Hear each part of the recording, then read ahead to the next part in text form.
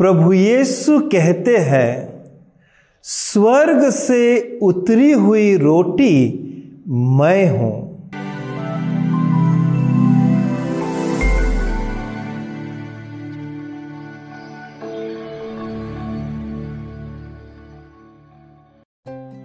ख्रिस्त में प्यारे भाइयों तथा बहनों, पिछले इतवार प्रभु यीशु ने लोगों से कहा, हम सबों के जीवन का एकमात्र लक्ष्य है।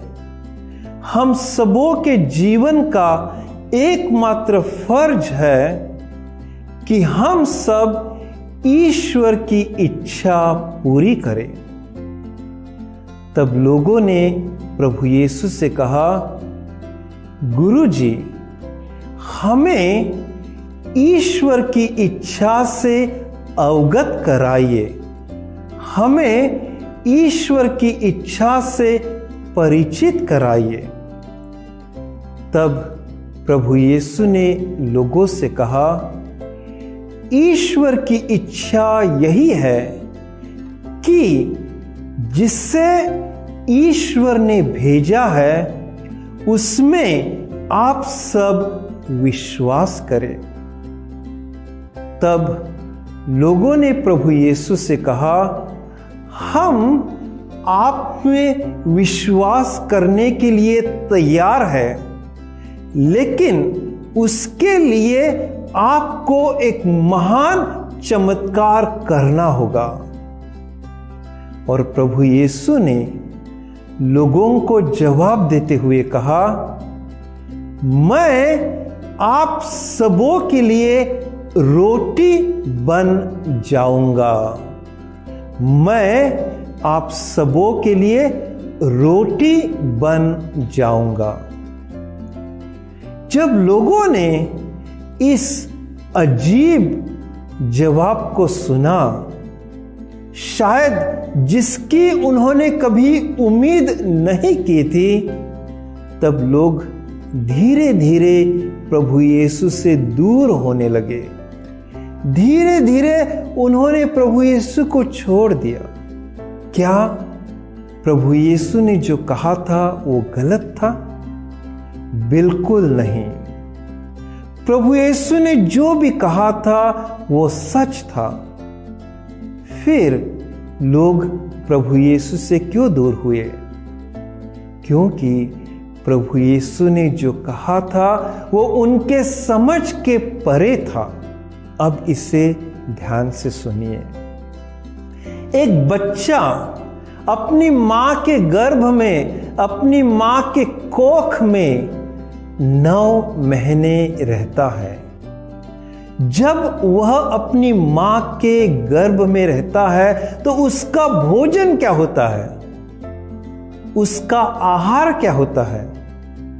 उसका भोजन होता है अपनी माँ का खून, अपनी माँ का लहू, अपनी माँ का जो खून है उससे उसको सख्त ज़रूरत होती है अगर उसे अपनी माँ के गर्भ में जीवित रहना है। इसीलिए डॉक्टर्स भी हर गर्भवती महिला को यही सलाह देते हैं, यही नसीहत देते हैं कि आपको अच्छा भोजन करना अनिवार्य है। आपको अच्छा आहार ग्रहण करना ज़रूरी है।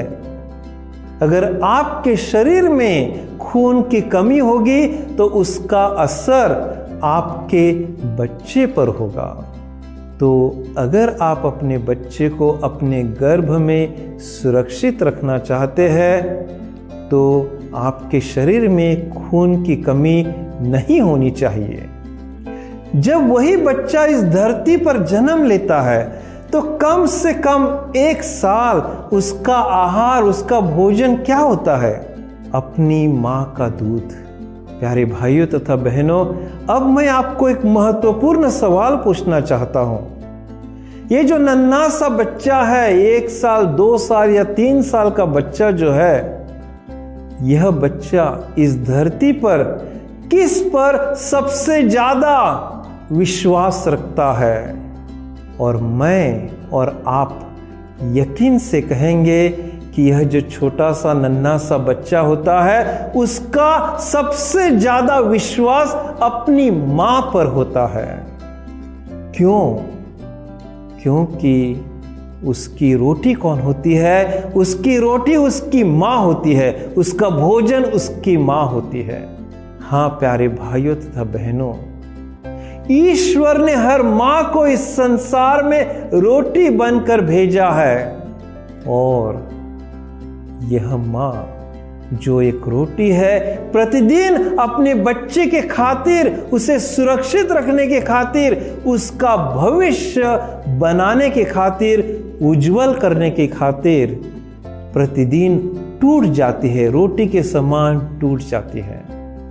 हाँ प्यारे भाइयों तथा तो बहनों, ठीक उसी प्रकार पिता ईश्वर अपने एक लौते पुत्र प्रभु यीशु को इस संसार में रोटी बनकर भेजते हैं। इसलिए आज के सुसमाचार में प्रभु यीशु कहते हैं, मैं स्वर्ग से उतरी हुई रोटी हूँ।